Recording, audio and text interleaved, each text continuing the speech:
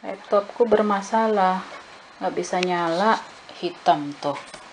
Itu aja udah dipencet sini on off nya tetap aja nggak nyala.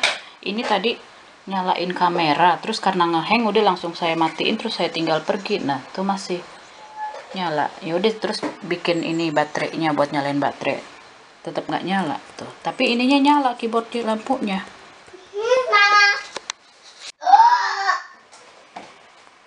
akhirnya bisa lagi laptopnya.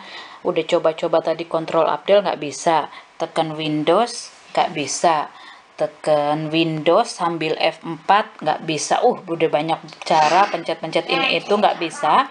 Lalu uh, eh saya nyari artikel bahasa Jerman bahasa Inggris nggak bisa-bisa. Akhirnya cari bahasa Indonesia deh dengan kata kunci Windows uh, 10 layar hitam tidak berfungsi terus aku baca yang nomor satu di Google pencarian pertama. Sorry suara anak masuk. Katanya disuruh uh, tombol powernya nih yang di sini tekan uh, tekan selama 10 detik. Saya tekan agak lama deh kayaknya lebih dari 10 detik. Terus akhirnya restart. Wih seneng banget akhirnya bisa deh. Kamera tadi setelah ini tekan lebih dari 10 detik uh, sini kameranya yang menyala lampunya akhirnya mati terus dia restart ulang.